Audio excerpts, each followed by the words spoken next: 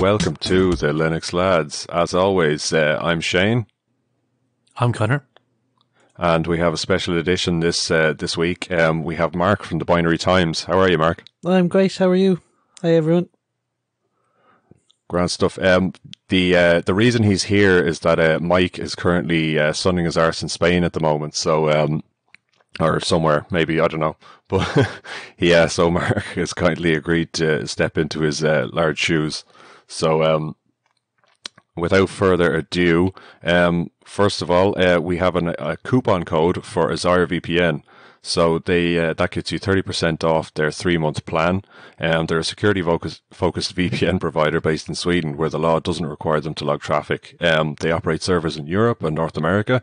Their servers are owned and not rented, installed on location by their engineers and running Debian Linux.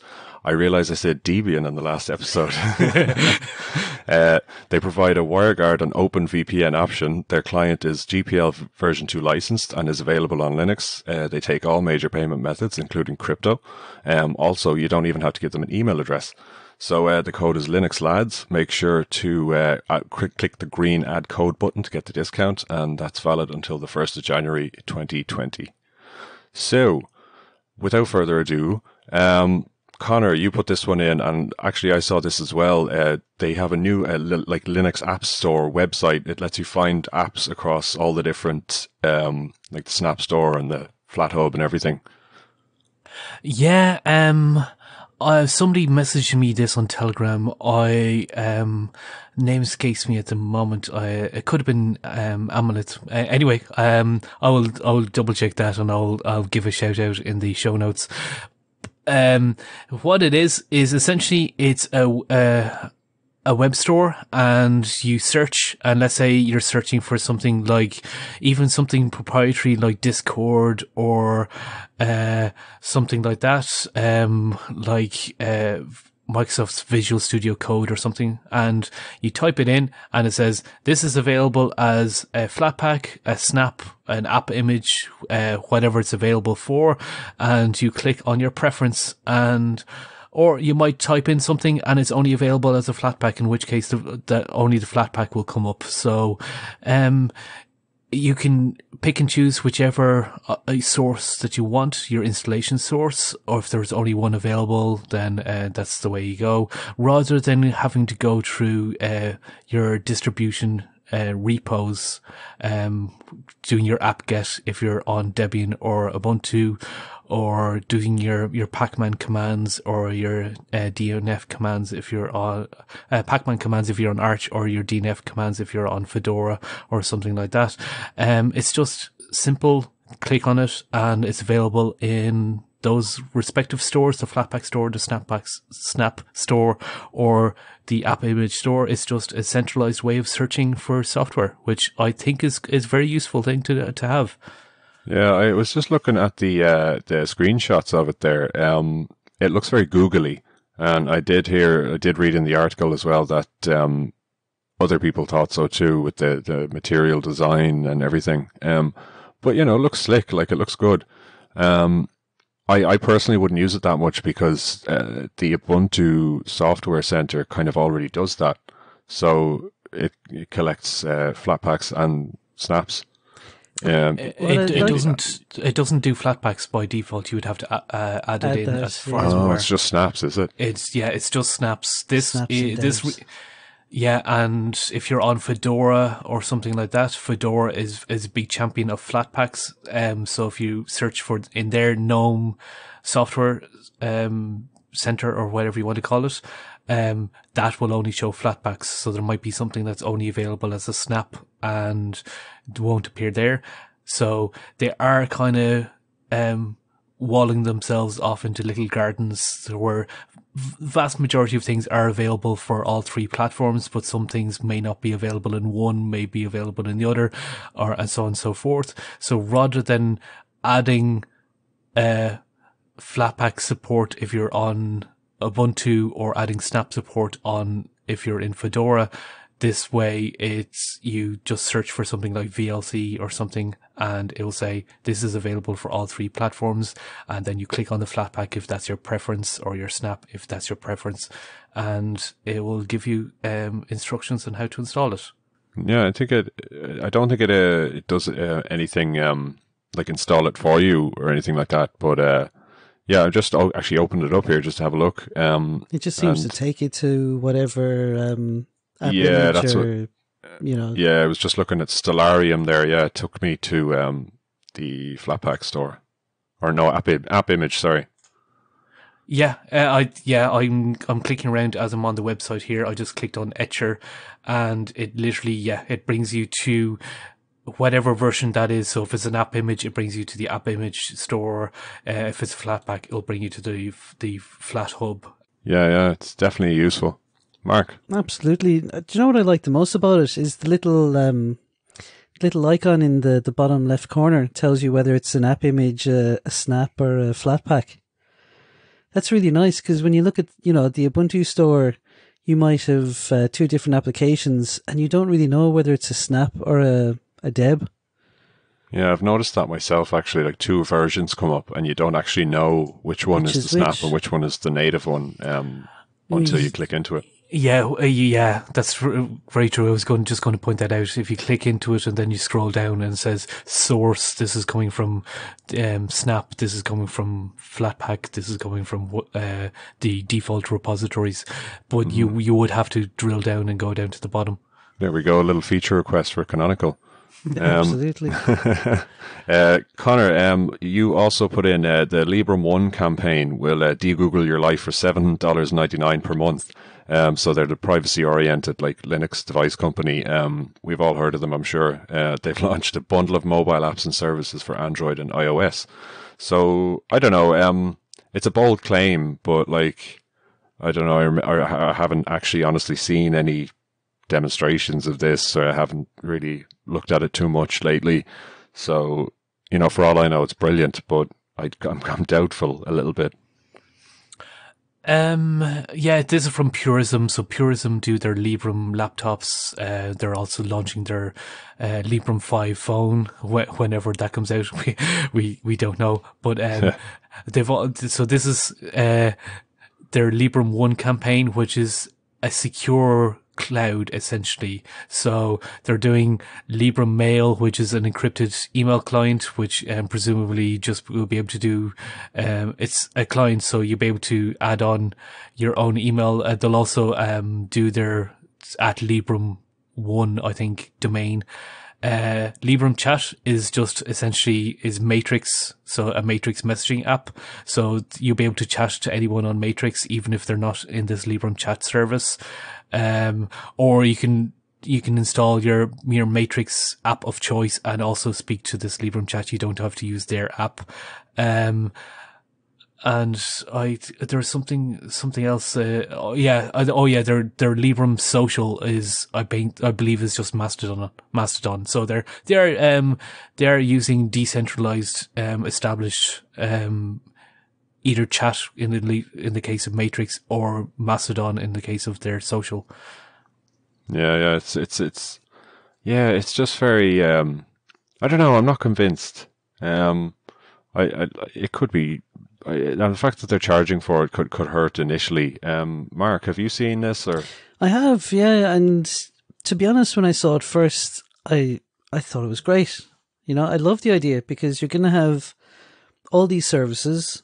Uh, you're going to have your laptop, your tablet, your phone, all using the same operating system and all being able to use these services. You know, I, it's a very compelling. Um, Jesus, my phone is talking to me. What's that about? Uh, anyway, sorry. Um, you know, it's a very compelling uh, collection of services they're putting together for everyone, and um, I, I really like the idea. But thinking about it, you're just thinking they're taking on a lot. Uh, okay, they're using existing open source software and everything, and they're just uh, rebadging it. Grand. I prefer to see them partnering with someone that's already doing this and maybe reselling reselling it rather than trying to do it all on their own. Um, I don't know. Have they any expertise in this at all? Um, it's not easy to kind of uh, just build up infrastructure overnight. Um, like I was a, an Ubuntu One customer myself.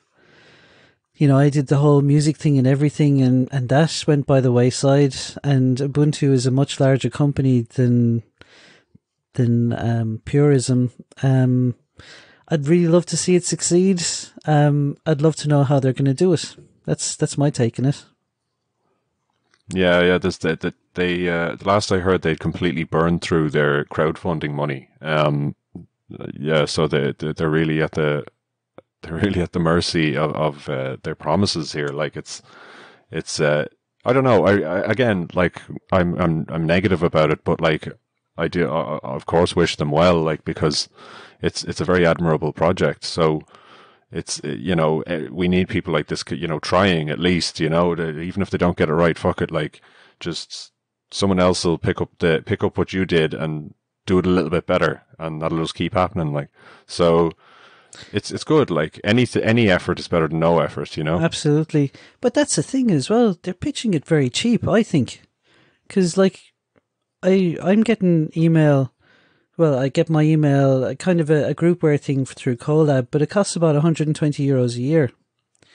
You know, whereas they're pitching mail, chat, VPN, and social networking for seventy-one dollars a year. Yeah, uh, uh, seven ninety nine. Seven ninety nine a month. Uh, you know, um, I I'll I'll I'll get the latest um, pricing, but yeah, uh, from the headline that I see, it's seven ninety nine a month. Yeah, that's. I guess it's not bad if you're willing to pay it. Like, I think it's it's very cheap to be offering that amount of services for that price, and I wonder how sustainable is it.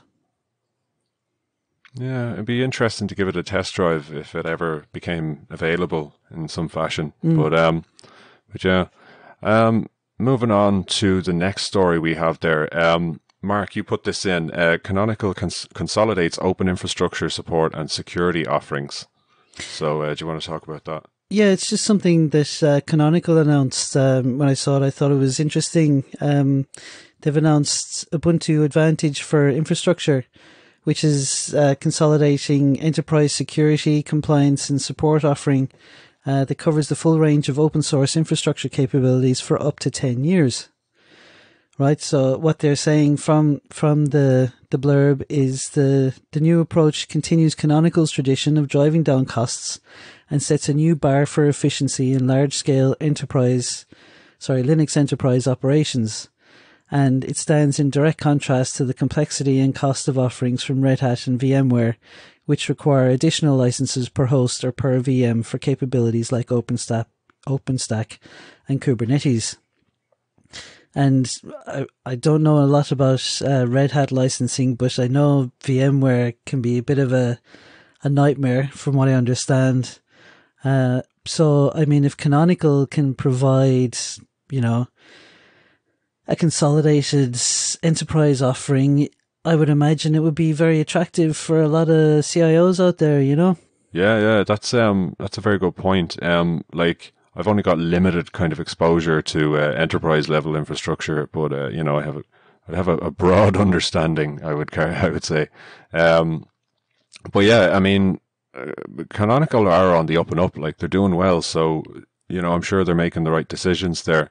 Um, you know, they're they're going hard at the cloud, the cloud, the cloud space. Like, like it's cool. Like it's cool. To, it, like it's another Red Hat. Really, like you, you love to see open source companies doing well. Like no matter what, you yes, know. Absolutely.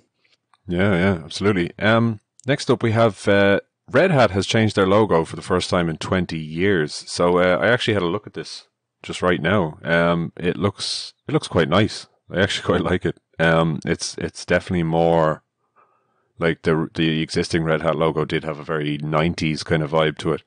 Um, but uh, but yeah, the new one is good. It's very kind of Silicon Valley techie startupy looking. I love it. I think it's great. Why didn't they do this years ago, back in the nineties? Uh, there is, I, I definitely do like the, the new logo. It's, it's, it's cleaner. It's more modern. Um, I, I, it's more recognizable if you, if you're to turn it into monochrome. Um, they've updated their, their font for, for the, the text of, of Red Hat itself as well.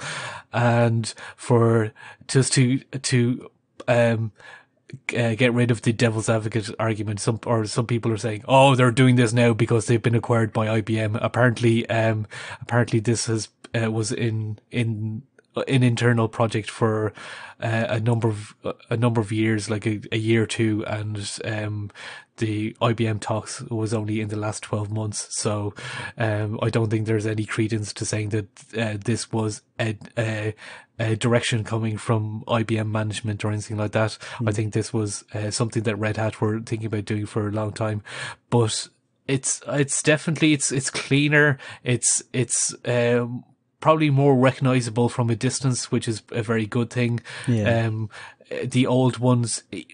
Um, I think the uh, the nickname for their logo was the Shadow Man.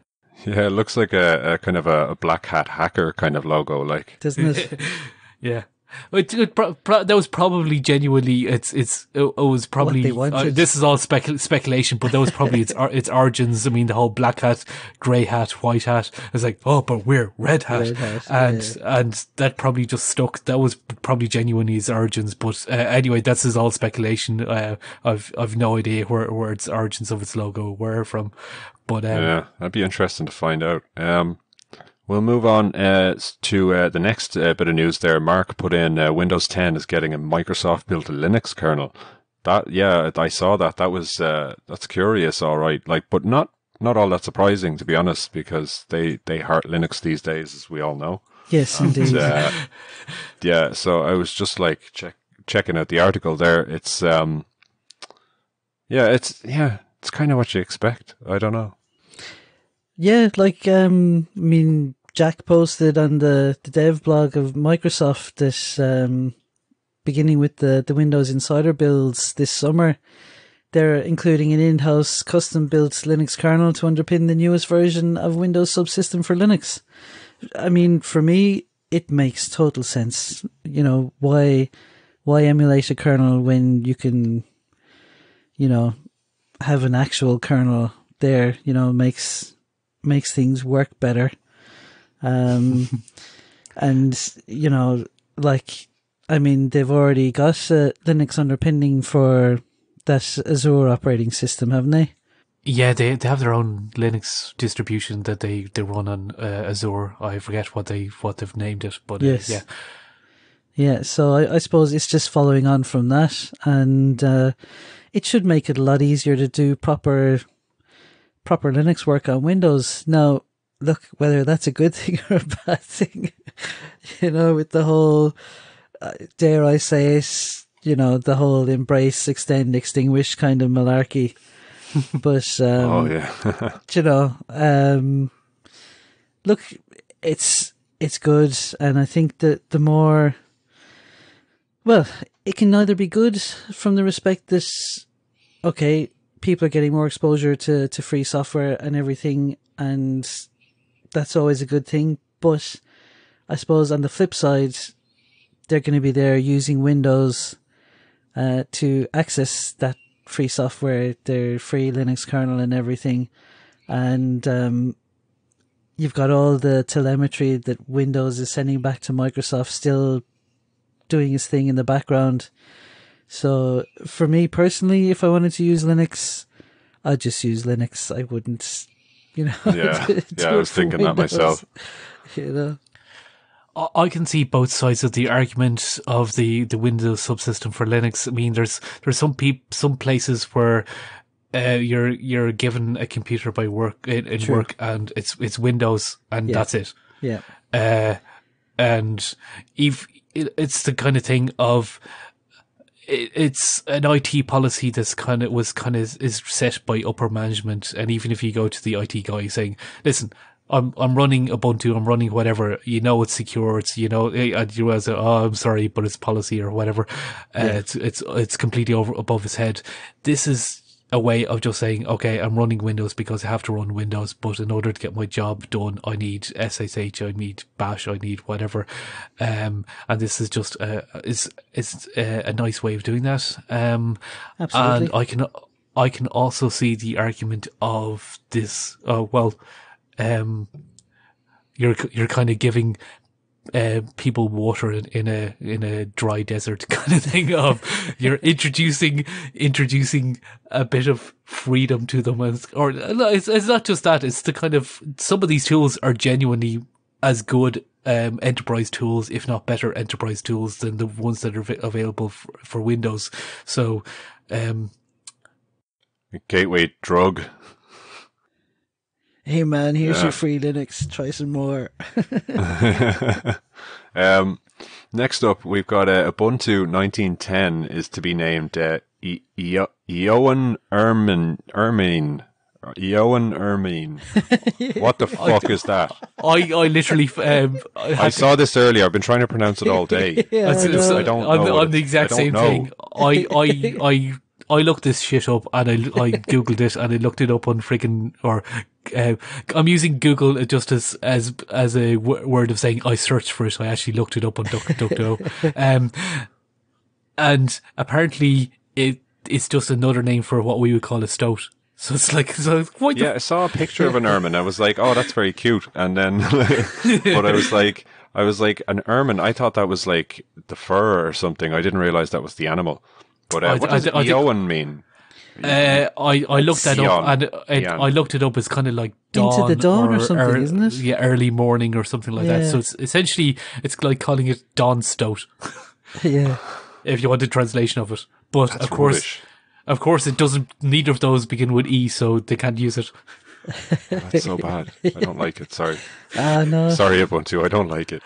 I mean, Um, going from Disco I'm- Dingo to uh, when you know, going, what? They're they're yeah, I, they're never. It's it's like freaking um beefy miracle for um for.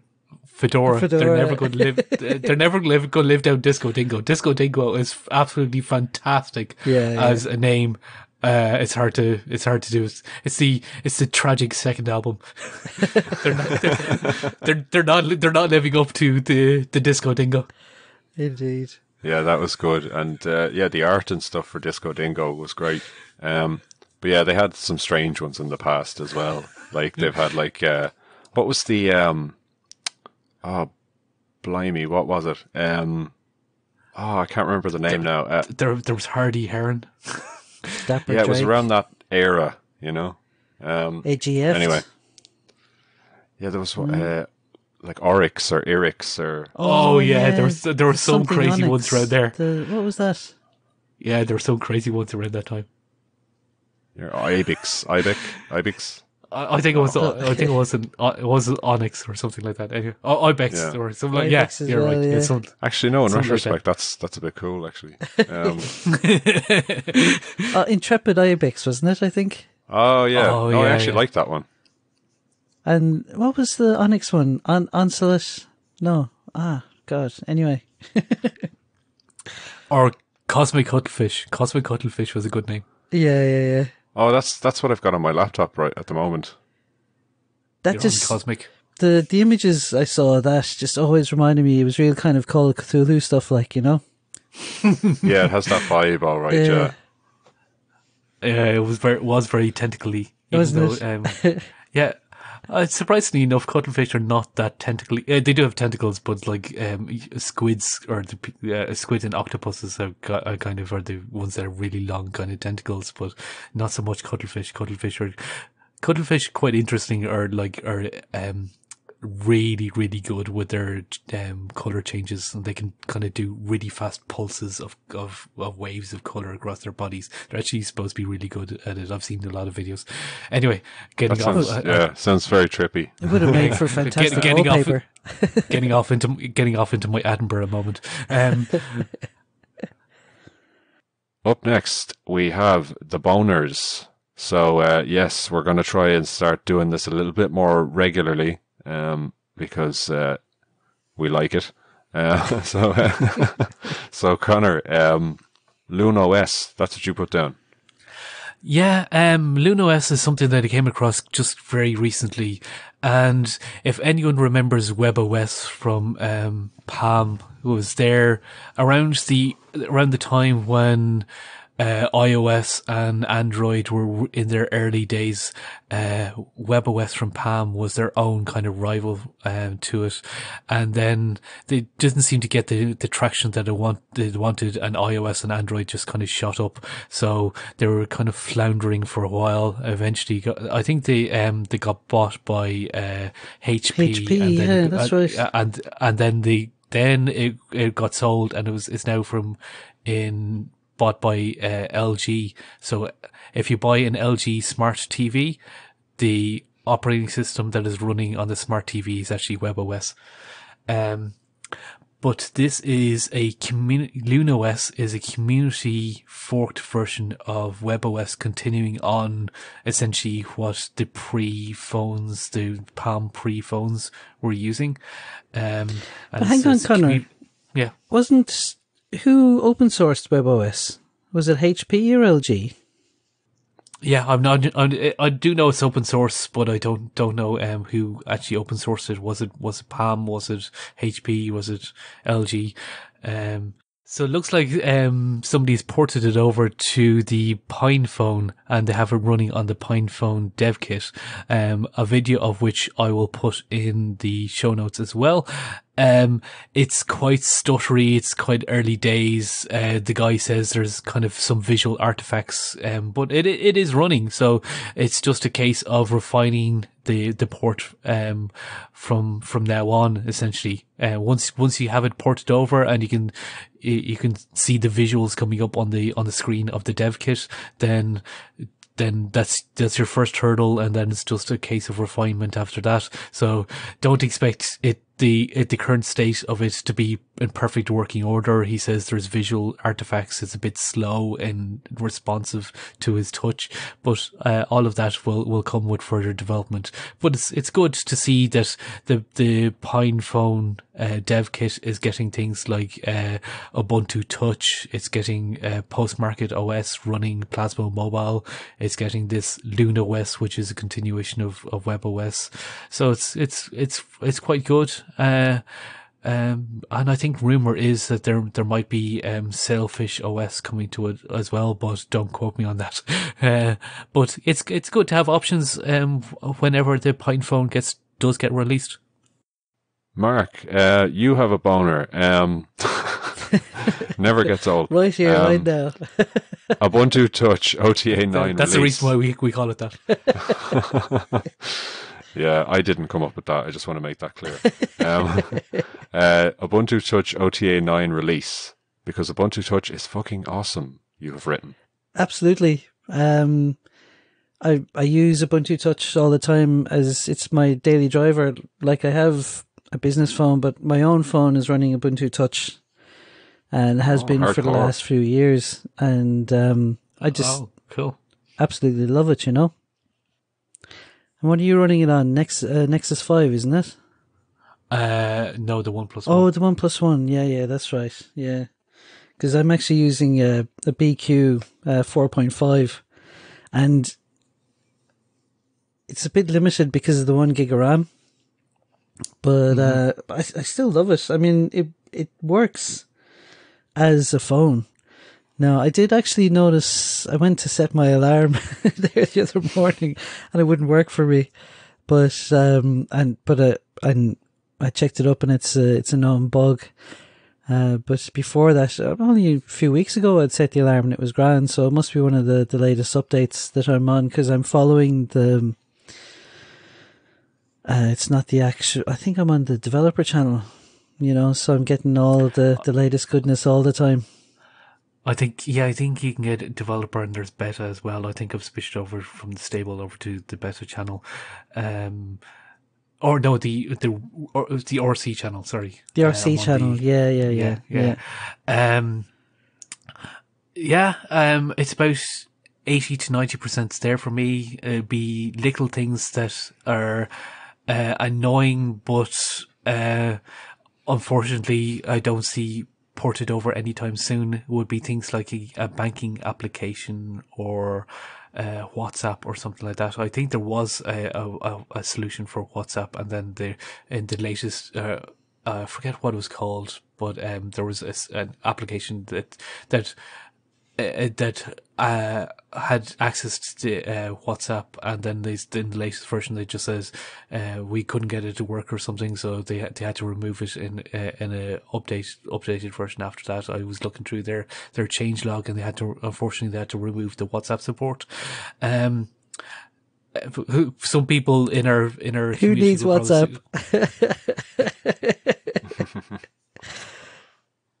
Yeah, it's that kind of thing, isn't it? You really have to, you know, yeah, WhatsApp is definitely the middle ground. Like, it's like, okay, I guess I'll use it. Like, I don't really want to use it. I prefer everyone just use maybe Telegram or Signal or something. But, mm. but no, I don't know. Uh, you know, te- te- you know, it, it's like forty percent Telegram, sixty percent WhatsApp for me. Like, uh, yeah, because that's that's kind of where I'm at. Because I, I don't use WhatsApp at all and um, like the amount of groups I'm missing out on because work groups, kind of uh, uh, playing soccer groups, they're they're all on WhatsApp, you know. So and I'm saying, no, man, use Telegram, use Signal, and they're like, what's that? You know, and no one is prepared to even try them, and you're just going like, these are better platforms, you know. Not that I know what WhatsApp is like because I don't use it, but anyway, you know, it's it's just annoying that people kind of get stuck into, you know, using it. I suppose because everyone else is using it, but I, I find it's very fickle because you know, once the next shiny comes along, everyone like I suppose it was Facebook Messenger first, then it was WhatsApp. What'll it be next? Hopefully, it'll be Signal or Telegram for for my sake, anyway. I see all sorts of people now that I know joining Telegram. Like, Excellent. I will see, like, you know, the way it gives you the notification when one of your contacts joins Telegram. Yeah. Like, right. uh, I get, I get those like once, twice a week nowadays. Like, a lot of people seem to be getting on it. Like, people I never thought would have even heard of it. I don't get that at all, unfortunately. I, I wish people would switch over to it um, on my on my personal context, but uh, hardly anybody I know is is on it. Uh, other than uh, like my geeky nerdy friends are, are uh, would would use Signal, would use uh, would use Telegram, but other than that, um, virtually everyone is on WhatsApp. And um, Mark, as you're saying, the social groups. If you're if you want to go join your local soccer club or a bun- bunch of guys, um, yeah, going out and they're they're playing, kicking around, um, uh, kind of a football at the weekend, like meeting up on a Saturday, just uh, like a, a, social group to to get a bit of exercise, com- camaraderie, and that sort of thing. There are ninety percent of the time they're going to be organising it on WhatsApp. WhatsApp, yeah. So I think we'll uh, start to wrap it up there. Um, as always, we'll finish off with how you can get in touch. Um, obviously, I'd like to thank Mark for coming along, um, You're for welcome. filling in for Mike. It was great. Yeah, so hopefully, you know, Mike can listen to this on Monday and he can uh, he can see what it's like for the on the other side. Like that should be interesting. Um, I hope. So uh, I hope we didn't like slag him off too much. Um, so uh, linuxlads.com forward slash support that's where you can go if you'd like to contribute to the podcast. Um, obviously, it does cost us a little bit of money to host and uh, produce the podcast, so any donations will be very, very gratefully received. Um, if you want to catch up with us and get in touch with us, feel free. We don't care if you text us directly on Telegram or some shit. Like, honestly, just do it. Like, you can get us on all the short links, uh, linuxlads.com forward slash telegram uh, forward slash Twitter, forward slash Facebook, forward slash Mastodon. So they'll all get you to those networks. Um, you can also email us on show at linuxlads.com. So any feedback or any suggestions or anything you didn't like, give us a shout. Um, so we'll wrap this, this baby up. Um, thanks for coming, guys. Thanks for being here, Mark. You're. Um, we have been the Linux Lads. I've been Shane. I've been Connor. And I've been Mark. Thanks very much. See you later.